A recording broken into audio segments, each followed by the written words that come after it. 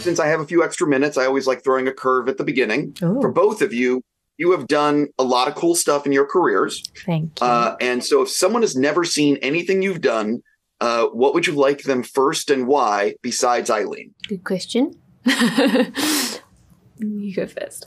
I can't remember a thing I've been in right now. um, I think I have to. I th- I'm. I have to go with Devil Wears Prada. Yeah.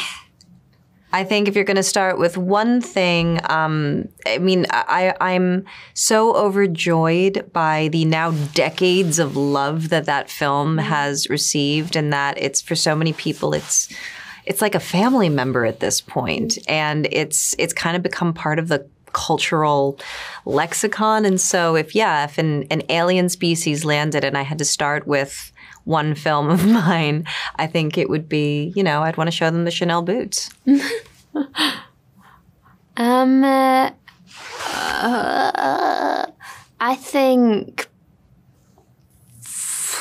I'm just going to say it again because I said it before, but there's a show I did um, called Life After Life that's based on a Kate Atkinson book directed by John Crowley which I'm really, really, really proud of, and I want more people to see. But including the aliens. Including the aliens. I think the aliens specifically would enjoy that. I actually think that'd be a great thing to show the aliens. Yeah. I haven't seen the series yet, but just knowing the book, uh-huh. it's a beautiful kind of hu- yeah. human offering. Yeah, humanity. I think aliens would be like, so that's what so humanity that's is. That's what it's about. Yeah. yeah, between our two films, you got a lot of it covered. Yeah. Not everything, but a lot. A lot one last question before getting into why I get to talk to you guys today. You've both worked on a number of things. Is there a day, a scene that you remember from one of your previous projects that you vividly remember being incredibly nervous before you stepped on set? Mm. Um. Literally, you could throw a dart at every day on set for me and find that moment. But yeah. Um, I, I, just a moment came to mind, which was um, I made a film called Rachel Getting Married, uh, directed by the one, the only, the great Jonathan Demme. And there's a scene in a rehearsal dinner where my character gives a speech. And um, I was nervous that day because I was giving the speech in front of some people who knew the char- the person that my character was based on, and I didn't know how I'd measure up.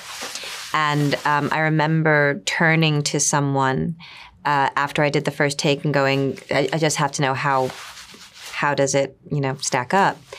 And she gave me some feedback and it pushed me way deeper into the performance, past the nerves, past everything else, and it was a gift. And and I'm really I, I am really proud of my work in that in that scene. And um, but I was I was very nervous that day because anytime you're playing someone real in front of someone who knew them, it's it's yeah. Scary. Yeah. Um, I'm going to say I did a film called Last Night in Soho, and uh, as the name suggests, it was set in Soho in London. Last night. Last, yeah, last night in Soho. and uh, there was like, we were filming a lot in Soho, and Soho is a very busy place.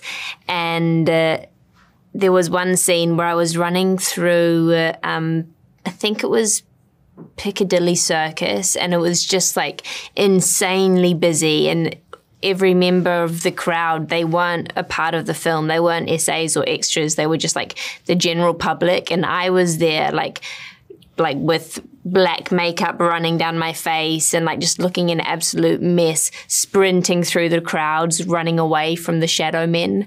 Um, and I got some pretty weird looks on that day. that was pretty nerve wracking. I just love the sentence. I was running away from the shadow man. Yeah. Yeah, it's going to be all right, darling. It's going to be all right. just running away from men in general, really. Yeah. Jumping into why I get to talk to you guys, you're both so great in this, and I'm curious. Um, when you're making a film like this, which is clearly not Marvel money, you know, you're mm-hmm. making it on a budget. Do you feel more pressure on yourself prior to stepping on set to know all your stuff or you know what I mean? Because you don't have as much time and yeah. you don't have as many takes. Absolutely. Yeah. Yeah. I think I'd feel a lot of pressure either way. Yeah. Because, like, if I was on a Marvel project, like, just knowing the amount of money that's going into it, I'd want to be worthy of that money. Um, like, either and also like um, if you're making an indie film knowing amount the amount of hard work and time that goes into it i want to be worthy of that hard work and time and sacrifice Mm-hmm. so either way I think that whatever the budget is, the approach that you describe, that should be the way you act. I mean, that that's kind of your approach as an actor. The thing that I'll say when you're working on an indie film uh, versus like a super luxe, you know, all expenses paid ride, the per, the people that feel it the most are the crew. Mm-hmm. And so it's extra, I feel like there's extra emphasis on you as the actor to really, really, really keep it tight and do a great job and hit your mark and be super precise on an indie film because um, the crew is everybody on, a, on an independent film has like 18 jobs that are not their job.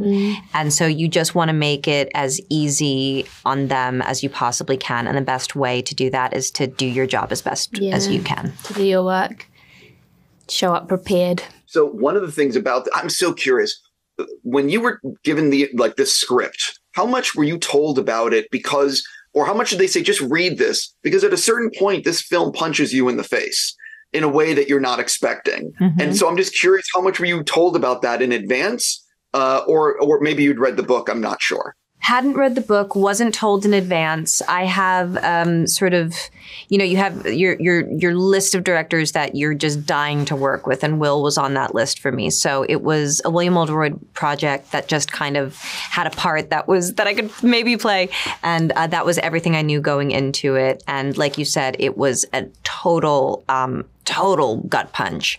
And i you know it was one of those ones where the thing that happens happens and you're just like wait wait, what? And you go back a couple a couple pages and you go and you go, oh my god, I think I know what they're doing, and this is mm. crazy. And how do I get involved with this? This is amazing. Mm. Yeah, I wasn't warned. I feel like I, mm. it's better not to warn people going into it so that like their shock is like as big as it possibly can be.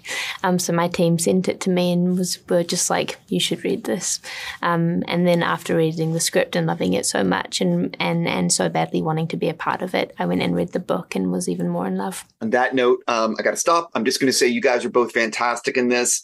Uh, thank you for giving me your time and good luck with the rest of your speed dating. Thank you. so much. Have a wonderful day.